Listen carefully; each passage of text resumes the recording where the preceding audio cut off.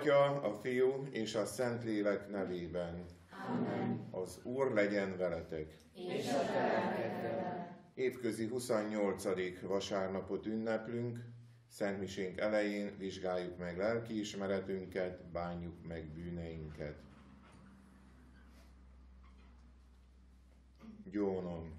A mindenható Istennek és nektek testvéreim, hogy sokszor és sokat védkeztem, gondolattal, szóval, cselekedettel és mulasztással. Én védkem, én védkem, én igen nagy védkem, kérem ezért a boldogságos, mindenkor szeplőtelen Szűz Máriát, az összes angyalokat és szenteket, és titeket, testvéreim, hogy imádkozzatok érettem Urunkhoz, Istenünkhöz. Irgalmazzon nekünk a mindenható Isten, bocsássa meg bűneinket, és vezessen el az örök életre. Amen.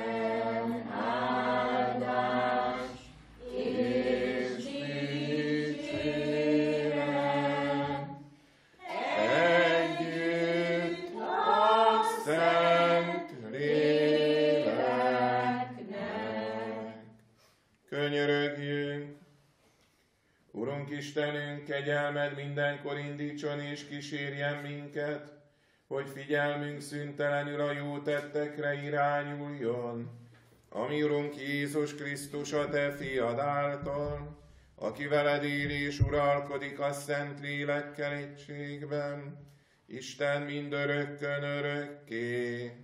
Amen. Olvasmány Izajás próféta könyvéből. A seregek ura bőséges lakomát rendez minden nemzetnek ezen a hegyen. Lakomát, ahol lesz finom bor, zsíros legjava falat és erős színbor. És ezen a hegyen leveszi a leplet, amely minden népet betakart, és a fátyolt, amely minden nemzetet elborított. Örökre megsemmisíti a halált. Istenünk az Úr letörli a könnyet minden arcról, lemossa népéről a gyalázatot, lemossa az egész földön. Ő, az Úr mondta ezt. Azon a napon majd így beszélnek, íme a mi Istenünk. Benne reméltünk, hogy ő megszabadít minket. Ő az Úr, s mi benne bíztunk. Örüljünk és újongjunk szabadításának. Lám, az Úr keze megpihen e hegyen. Ez az Isten igéje. Istennek legyen hála.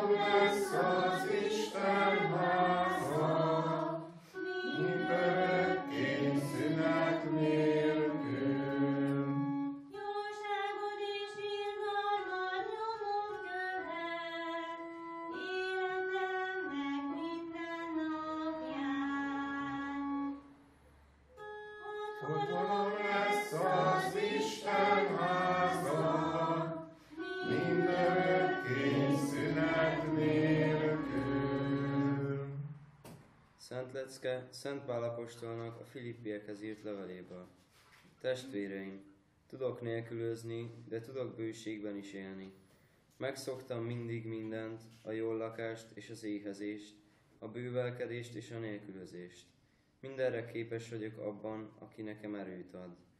Mégis jól tettétek, hogy szükségemben segítségemre voltatok. Az én Istenem gazdaságának mértéke szerint a ti szükségeteket is bőségesen kielégíti majd a Jézus Krisztus által elnyert dicsőségben. Legyen dicsőség az Istennek, ami atyánknak örökkön örökké. Amen. Ez az Isten igéje. Istennek legyen hála.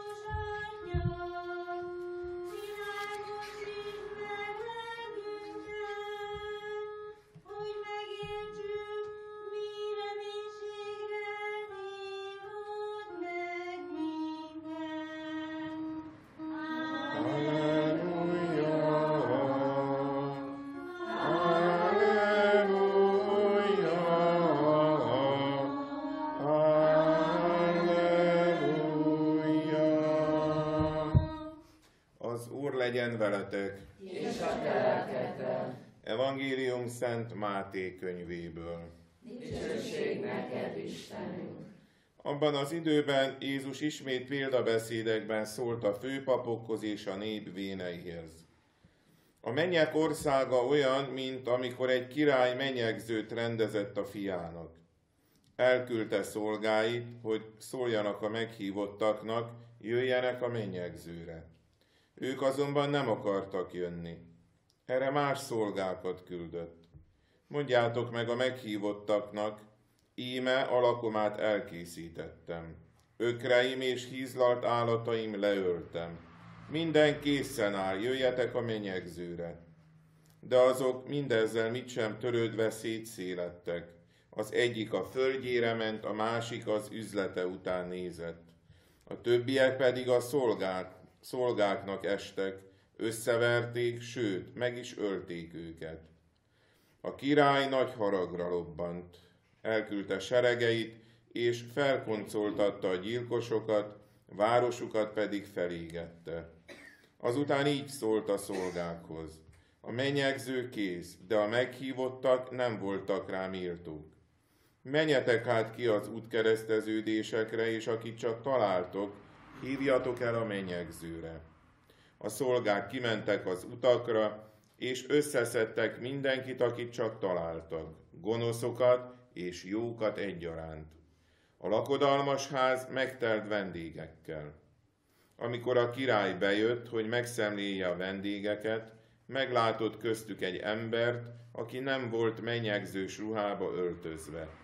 Megszólította, barátom, hogy jöhettél be ide, ha nincs menyegzős ruhád? De az csak hallgatott. Erre a király megparancsolta a szolgáknak. Kezét, lábát kötözzétek meg, és dobjátok ki a külső sötétségre. Ott sírás lesz és fogcsikorgatás. Sokan vannak a meghívottak, de kevesen a választottak. Ezek az evangélium igéi. Áldunk téged, Krisztus! Krisztusban szeretett jó testvéreim, bizonyára mindannyian jártunk már nagy üzletházakban, akár az árkádban, vagy más bevásárló központban, és láthatjuk, hogy milyen nagy a kínálat. Havonta kapjuk a friss prospektusokat, reklámújságokat, melyik áruház mit reklámoz, ár csökkentések vannak, és az ember kiválasztja, van miből válogatni. És akkor óhajtozunk, mint a gyerekek, hogy hú, de szeretném ezt meg ezt megkapni, vagy megvásárolni a pénzemből. Ha mindez az enyém lehetne. Ezzel szemben egyszer a nagy ókori bölcs Szokratész végigment a piacon, és mosolyogva, félhangosan megjegyezte, mennyi dolog van a világon, amire nincs szükségem. Múltkor papok összejöttünk, és azt mondtuk egymásnak, hogy hát az ember örül, ha kap, meg mindenféle dolgot úgy bespájzol, és úgy 50 felé, meg 50 után már azon van az ember ezeket elajándékozza, meg kiadja. Mennyi dolog van a világon, amire nincs szükségem? Hogy kinek mire van szüksége, hát ez egy relatív dolog, de van egy, amire minnyájunknak szüksége van. Ez pedig az Isten kegyelme. És erről van szó a mai evangéliumban. Jézus, hallottuk itt, menyegzőről beszél, és ezt a képet az Ószövetségből veszi. Azt akarja jelezni vele, hogy az Isten egykor eljegyezte magát az emberekkel. Az Isten egykor szövetséget kötött az emberrel, a népével. Egyértelmű Jézus a vőlegény, a mennyei király fia. Az ószövetségi meghívást a proféták vitték szét, de tudjuk azt, hogy ez a nép visszautasította. És hallottuk, hogy inkább mit kerestek. Inkább keresték az evilági javakat. Mindenki a földje után ment, meg az üzlete után ment. Tehát a világ jobban érdekelte őket, mint az Istennek a meghívása. Ugyanezt éli ez a világ. És minket is hív az Isten. A mai evangéliumban olyan csodálatosan az Isten arca ragyog felénk. Az Isten arca, annak az Istennek az arca, aki nem egy távoli világban él. Annak az Istennek az arca, aki nem idegen, az az Isten, aki nem közömbös. Mert ahogy mondtam, mindegyikünket hív és szólít.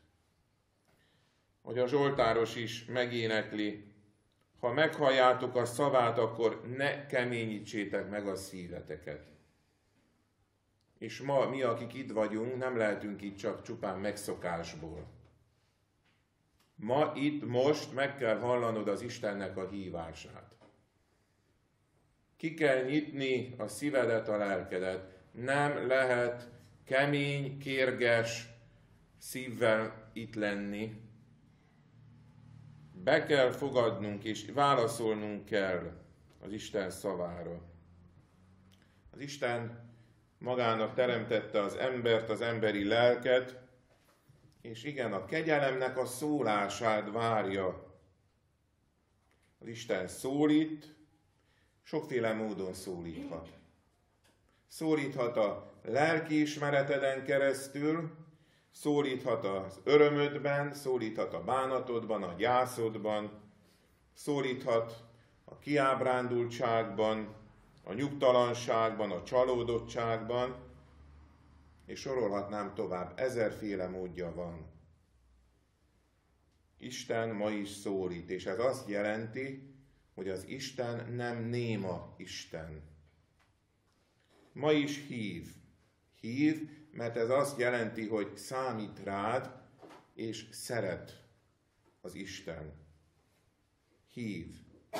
Egykor hívta Ábrahámot, hívta Mózest, hívta a profétákat, hívta az apostolokat, és ma, most téged hív. Fölhangzik az a figyelmeztetés, hogy jön a vőlegény, menjetek elébe. Ne hagyjuk, hogy kialudjon a mécses, a fény, az olaj. Minden léleknek van célja. Minden léleknek az a célja, hogy eljusson az Istenhez. Ha nem, akkor a lélek elveszik. Elveszik az életnek az útvesztőiben. Hát tudjuk, ez lett a sorsuk azoknak, akik nem hallgattak az Isten hívására. És milyen az Isten? Milyen hűséges, milyen türelmes. Nem fárad bele, nem adja föl, nem adja föl a tervét. Mit mond? Menjetek ki az útkereszteződésekbe. Hívjátok meg az idegeneket. Hívjátok meg az otthont keresőket. Nem kellettem a választott népnek, hívjátok meg a pogányokat. Hívása most hozzánk érkezett el. Most rajtunk a sor. Kell, hogy meghalljuk a hívását, és válaszoljunk.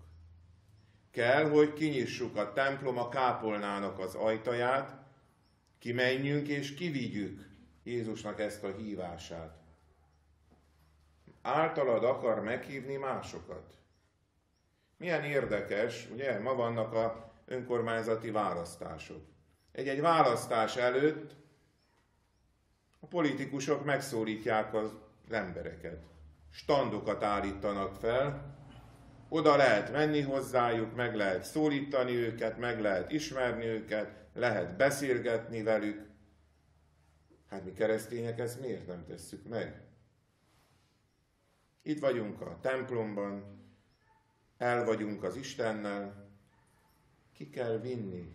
Ferenc pápa is mindig erre hívja fel a figyelmet, ki kell mennünk az emberek közé.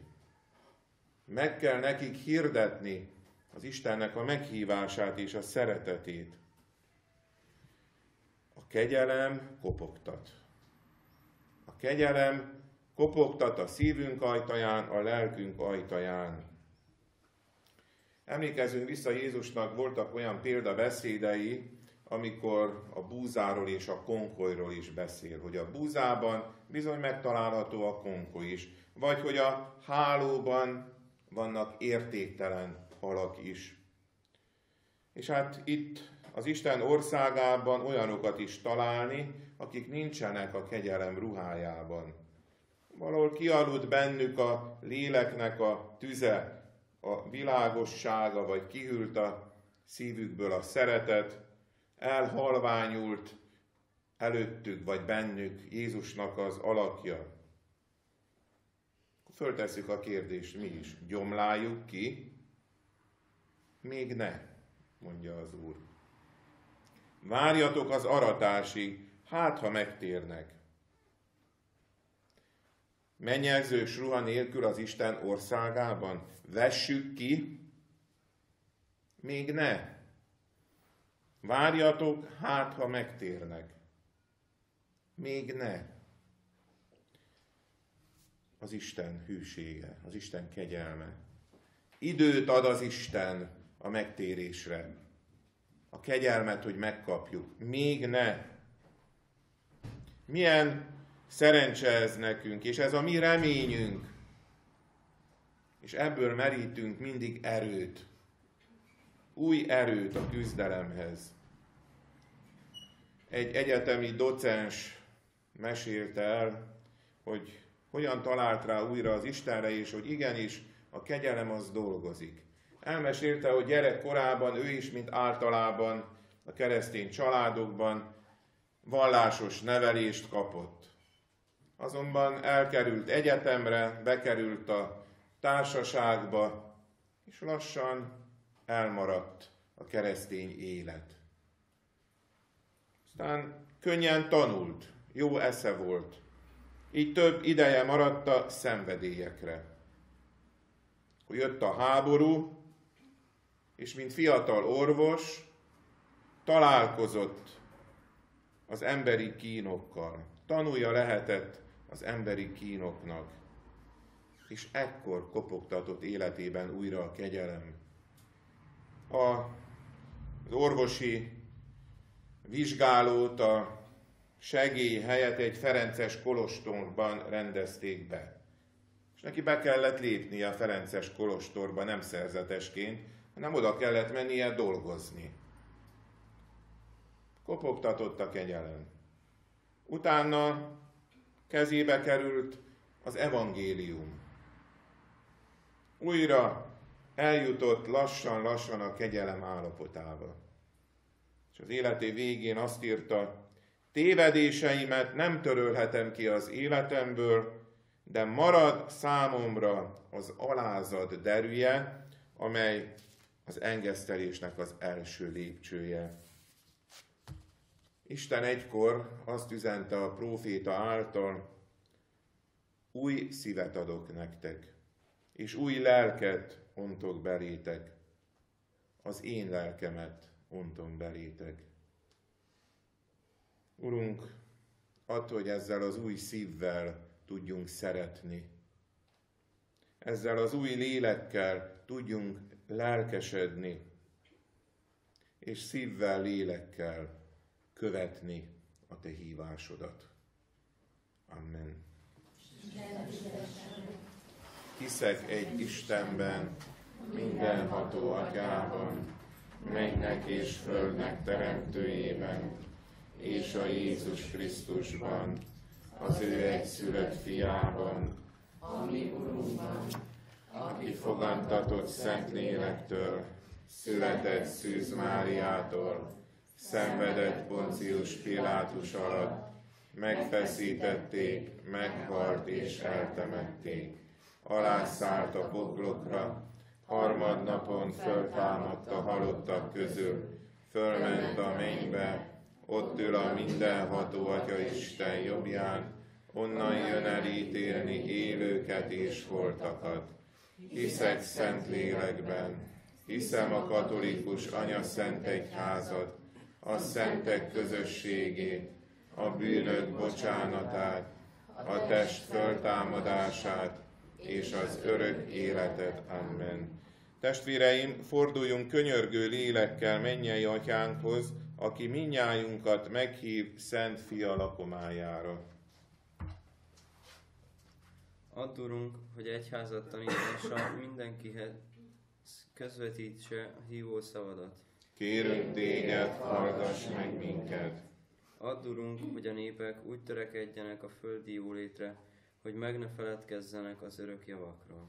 Kérünk téged, hallgass meg minket. Add, Urunk, hogy lakomádra hívó szavadat mindig meghalljuk és készséggel kövessük. Kérünk téged, hallgass meg minket. Add, Urunk, hogy mindig a megszentelő kegyelem meg mennyegzős köntösében várjuk az örök életre szólító szavadat. Kérünk téged, hallgass meg minket. Add, Urunk, hogy híveid keressék egymás barátságát, és szívesen gyakorolják a vendéglátás erényét. Kérünk téged, hallgass meg minket. Mennyei atyánk, engedd, hogy hívó szavadat soha el ne nyomja szívünkben a világ zaja, és mindig készek legyünk hívásod követésére, Krisztus, ami Urunk által. Amen.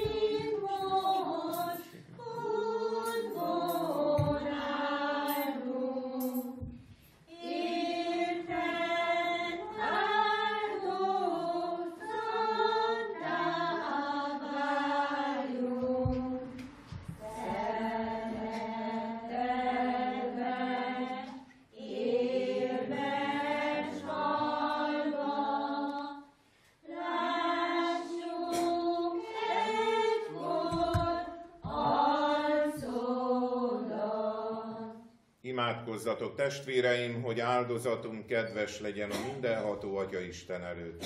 Fogadj el az Úr kezedből az áldozatot, nevének dicséretére és dicsőségére, mindannyiunk és az egész Anya Szent Egyház javára. Istenünk, fogadd el híveit, könyörgéseit és ezeket a felajánlott áldozati adományokat, hogy odaadó szolgálatunk révén a mennyei dicsőségbe jussunk Krisztus, ami Urunk által. Amen. Az Úr legyen veletek. És a Emeljük föl szívünket. Felemeltük az Úrhoz. Adjunk hálát Urunknak, Istenünknek. Méltó és igazságos.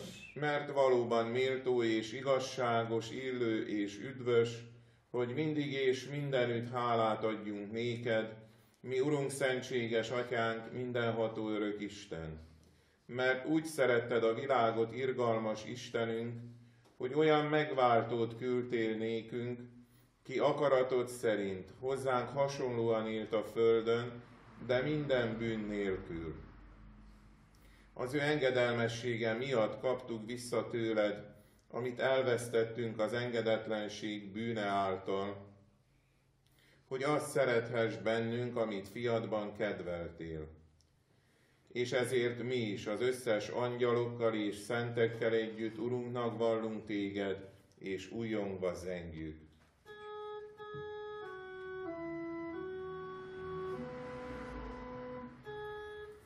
Szent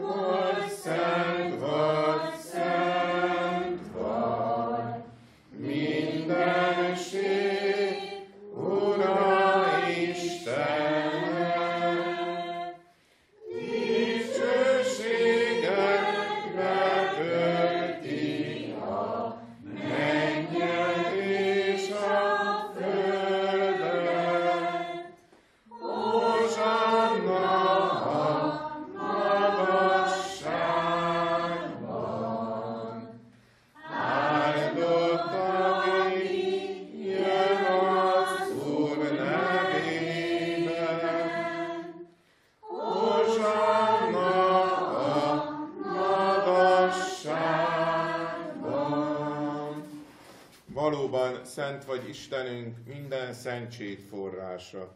Kérünk, szenteld meg ezt az adományt, árazd le rá szent lelkedet, hogy számunkra, ami Urunk Jézus Krisztus teste és vére legyen. Ő, mielőtt önként átadta magát a szenvedésre, kezébe vette a kenyeret, hálát adott, megtörte, tanítványainak adta, és így szólt. Vegyétek, és egyetek ebből minnyájan, mert ez az én testem, mely értetek adatik.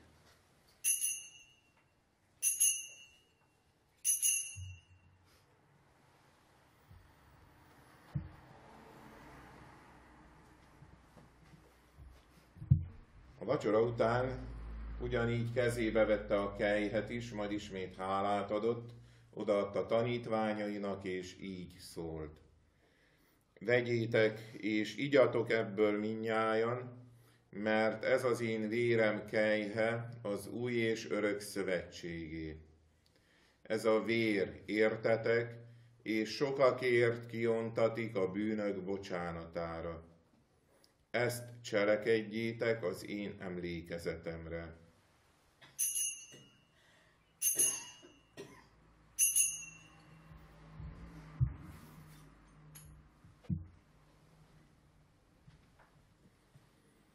Íme hitünk szent titka.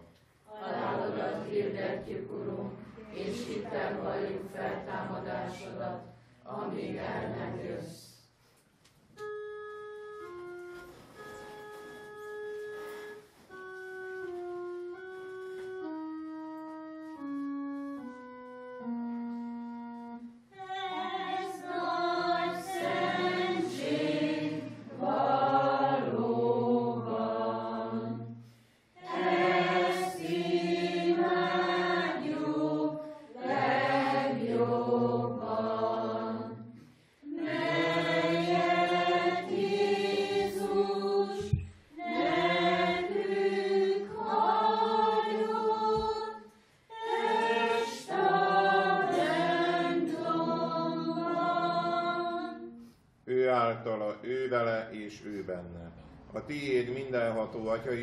Szent Lélekkel egységben, minden tisztelet és dicsőség mindörökkön örökké. Amen. Isten szeretete kiárad szívünkbe a Szent Lélek által, ezért mondjuk bizalommal. Mi atyánk, aki a mennyekben vagy, szenteltessék meg a te neved, jöjjön el a te országod, legyen meg a te akaratod, amint a mennyben, úgy a földön is. Minden napi kenyerünket add meg nekünk ma, és bocsáss meg védkeinket, miképpen mi is megbocsájtunk az ellenünk védkezőknek, és ne védj minket kísértésbe, de szabadíts meg a gonosztól. Szabadíts meg, kérünk, Urunk, minden gonosztól. Adj kegyesen békét napjainkban, hogy irgalmadból mindenkor bűn és baj nélkül éljünk, míg reménykedve várjuk az örök boldogságot, és üdvözítőnknek Jézus Krisztusnak dicsőséges eljöttét. Mert tiéd az ország, a hatalom és a dicsőség, mindörökké. Amen. Urunk Jézus Krisztus, Te azt mondottad apostolaidnak, békességet hagyok rátok, az én békémet adom nektek. Ne védkeinket nézzed, hanem egy házat hitét. Őrizd meg szándékod szerint békében, és add meg teljes egységét, aki élsz és uralkodol mindörökkön örökké. Amen. Az Úr békéje legyen veletek mindenkor. És a Köszöntsétek egymást a béke jelével. legyen békesség köztünk mindenkor.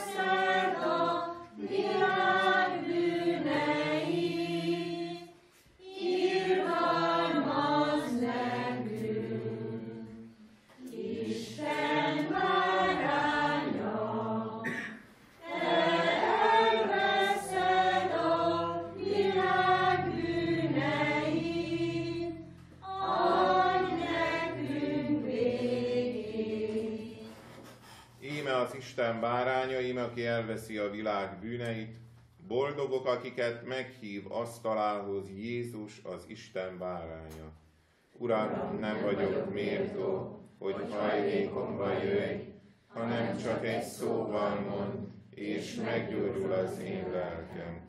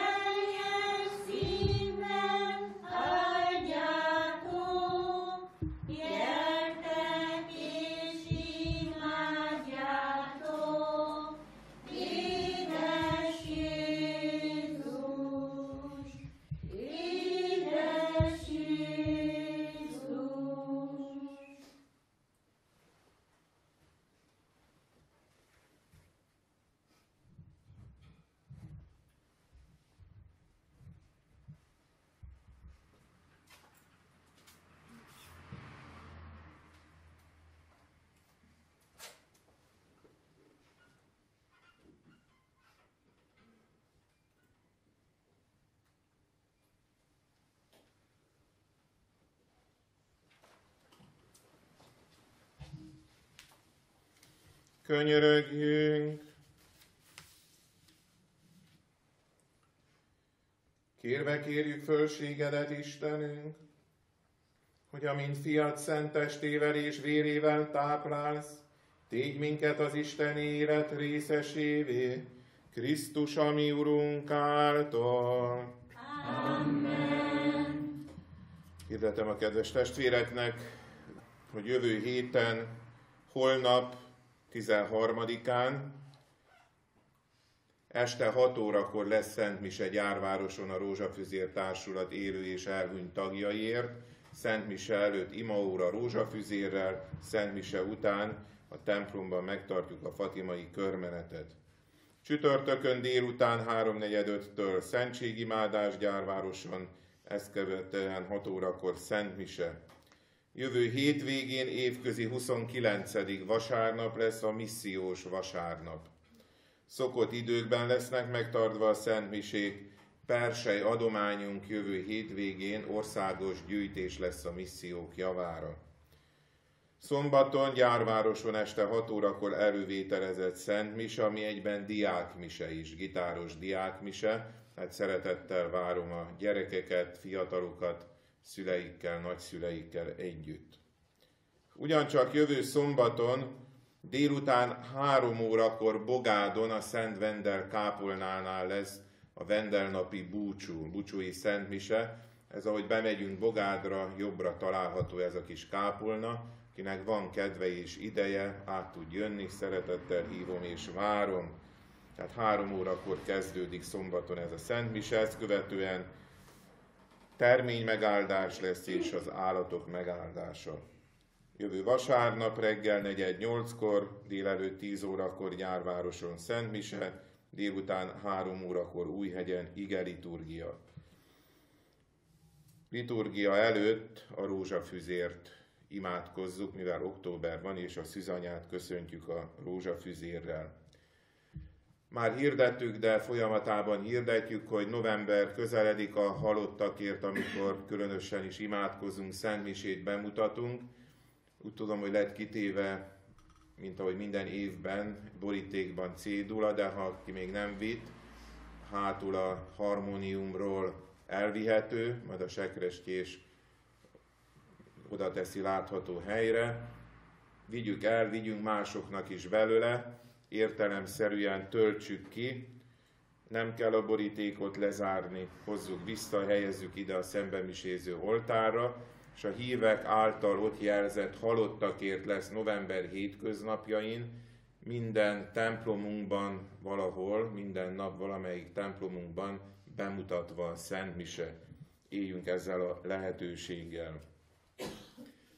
Péntekenként megkezdődött az ifjúsági hittan a gyárvárosi plébánián, az ifjúsági közösségbe továbbra is várjuk a fiatalokat 16-tól 25-26 éves korig. Péntekenként este 7 órakor kezdődik, diákonus atya vezetésével, és úgy néz ki, hogy nagyon jó közösség van kialakulóban. Ugyancsak egy felnőtt katekézist is meghirdetek, és a családban vagy a környezetünkben van olyan felnőtt fiatal, aki még nincs megkeresztelve, vagy nem volt első áldozó, bérmálkozó, lehetőség nyílik november 8-ától egy ilyen felkészítő tanfolyamon részt venni a gyárvárosi plébánián. Mindig két hetente lesznek ezek a kurzusok, de olyanok is jöhetnek, akik már részesültek a szentségekben, de szeretnének a hitükben elmélyülni és hitünkről tanulni, beszélgetni. Ez a plakát ki lesz majd téve ide a templomajtóra, a hirdetőre, kérem figyelmesen olvassuk el, és ezeket nem csak úgy hirdetem, hanem hogyha az Isten megszólít és küldetésünk van, akkor tessék apostolkodni. Most a Szent Mise végén a kiáratnál majd a minisztráns ki fogja osztani mindenkinek a kezébe az új Szent József hírkongatót, az egyházközségi újságunkat, vigyünk másoknak is belőle. A diákonus atya és a hitoktatóink mutatkoznak be, illetve tudjuk azt, hogy a plébánia templomunk, ahová tartozunk, a gyárvárosi templom, fölújítása megkezdődött. Akik jártak arra, láthatták, hogy a tetőzet, ami épp hogy be nem rogyott, a 24. óra előtti 5 ötödik percben lett megkezdve a munka. Elkezdődött, illetve az alap megerősítése, sajnos homokra épült az épület, és nem 80 centit kell, hanem sok helyen másfél métert kell leásni, és tégla, homok és tégla az alap. Ez is megkezdődött, és egyéb munkálatok is folynak, és mondtam, hogy akkor a mai nappal egy gyűjtést hirdetek meg. Mindannyiunk felelőssége és mindannyiunk összefogása kell ez, hogy a plébánia templom megújuljon, sőt tovább megyek, mert az újhegyi kápolnában is lesznek munkálatok, többek között nem sokára elkezdik a harangórát, ami a szomszédban található, áthozni ide a toronyba, és szeretnénk ha innét lehetne majd vezérelni a harangunkat. Az újságban található egy csekk, ez az egyházközség csekje. Ezen is föl lehet adni az adományt, de akár a gyárvárosi templomba is be lehet hozni, a sekrestések is szívesen átveszik. Kérem fogjunk össze, és a híveké a templom, a kápolna, tegyük szépé azokat. És köszönöm az összefogást és az adakozást. Most fogadjuk a Szent Mise áldását. Az Úr legyen veletek! Áldjon meg benneteket a mindenható Isten, az Atya, a Fiú és a Szent Lélek. Amen. Templomodból, Uram, mielőtt távozom, térdre hullva újból fohászkodom. Buzgon esedezve arra kérlek téged, áld meg családunkat és a távol levőket. Ha te benned bízva munkája után lát, hulla és munkájára áldásod harmatát, hogyha vész rohan rá, és tőled kér segélyt, jóságos kezeddel hárítsd el a veszélyt, hogy így napról napra, hálatelt szívvel, dicsérjünk téged, most és mindörökké. Amen. A Szent Mise véget ért, menjetek békével. Istennek legyen hála.